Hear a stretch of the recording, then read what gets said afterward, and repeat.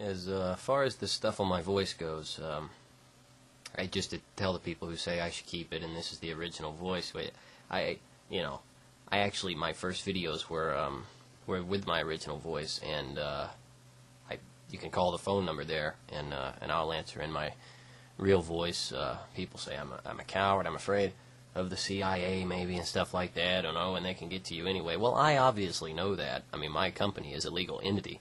Um, they 26th of July production. So if you know if they wanted to find me, they need only contact the IRS. In any case, uh, I you know it's really yeah the image doesn't matter. It's it's it's not the man, uh, the voice. I, I do get a lot of people that say, but they're turned off by the voice and just simply won't watch. Of course, that level of ignorance is uh, is kind of frowned upon by me. Uh, but I did receive a, a really good constructive criticism of it, and uh, you know I, I have no problem with with letting you hear my real voice. It you know it just just call me sometime. I uh, generally will answer between 11 p.m. and 2 a.m. Eastern Standard Time. Okay, but the the purpose of this one was I, I received a, a, a very very well worded um, email, and and I you know I couldn't have done better. It's it's clear, directly to the point, and uh, and it matters a lot that uh, that we point this out. Um, I'll keep the person who sent it anonymous for no particular reason. and it says, John, so we are six weeks off from the midterm elections, less than two months to go. It was clear that Bush was getting his ass handed to him. Gas prices were soaring, his ineptitude glaring, his approval ratings tanking below Hoover, and more and more civilians in Iraq as big grease spots on the ground. So I've been reading through the American papers, corporate and independent, and I see the same pattern as with the last presidential election when similar circumstances existed. Gas prices are now over 80 cents cheaper in my town, and we haven't uh, even done our ethanol changeover. Ethanol had taken the blame at the beginning of the summer as to why prices were going to be so high.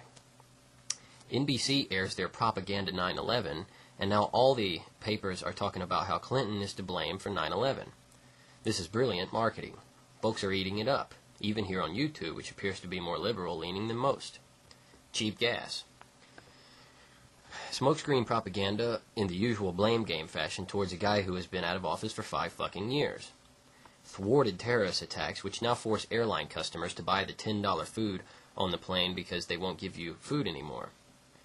Why are people buying this? Why can't they see the same pattern over and over again and not clue in?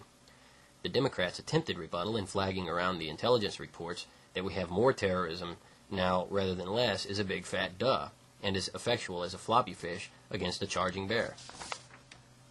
I can't possibly be the only one who sees this chess game just repeating over and over again, can I? Uh, no, you're not. Uh, you know, and I, it's pure apathy on my behalf uh, that I, you know, well, I, I, guess I just at one point just chose not to address that. I, I, guess I took it for granted. Well, people aren't falling for that. It just, you know, sometimes I'm naive and uh, you know, but that but really, I sincerely thank you. It, it, that really uh, was very, very clear.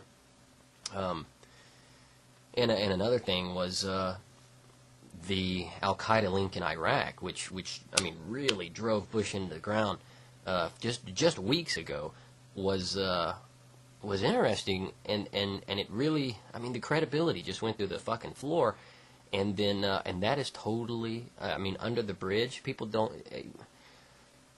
I mean, it goes without saying the WMD issue was was was bullshit. The I mean, there's lots of.